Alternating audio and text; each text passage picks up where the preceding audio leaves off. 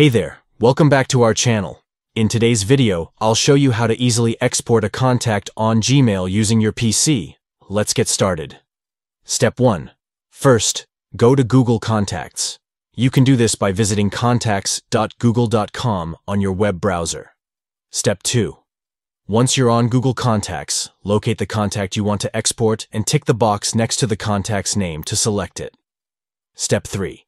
Now, look to the top right corner of the screen and click on More Actions. Then, from the drop-down menu, select Export. Step 4. A window will pop up prompting you to choose a format for exporting your contacts. For backing up your contacts, choose Google CSV as the format. Step 5.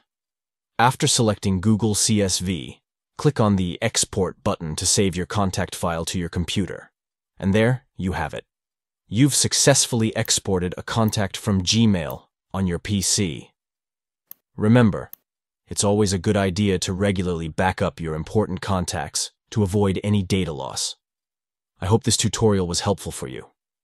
If you enjoyed this video or found it useful, don't forget to give it a thumbs up and subscribe to our channel for more helpful tips and tutorials. Thanks for watching and see you in the next video.